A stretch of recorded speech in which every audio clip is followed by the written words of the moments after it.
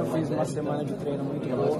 É, lógico que quando você entra é, num jogo como esse, numa intensidade como essa, é, com pessoas novas, né?